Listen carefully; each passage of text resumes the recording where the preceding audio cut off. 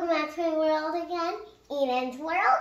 Today, I'm going to be showing you how to make these. Woo! That's my dad's.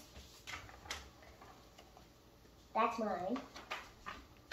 This is my butterfly and my fish. First of all, we add a piece of paper, fold it in half. In the middle, you put little dots and also on sides. Then yellow. Last of all, my last color, paper. Whoop. Then you close it up when you're done.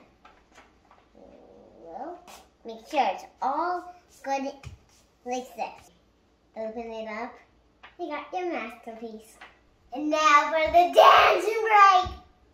I hope you like this video. Oh, and I hope you make good ones too. See you next time.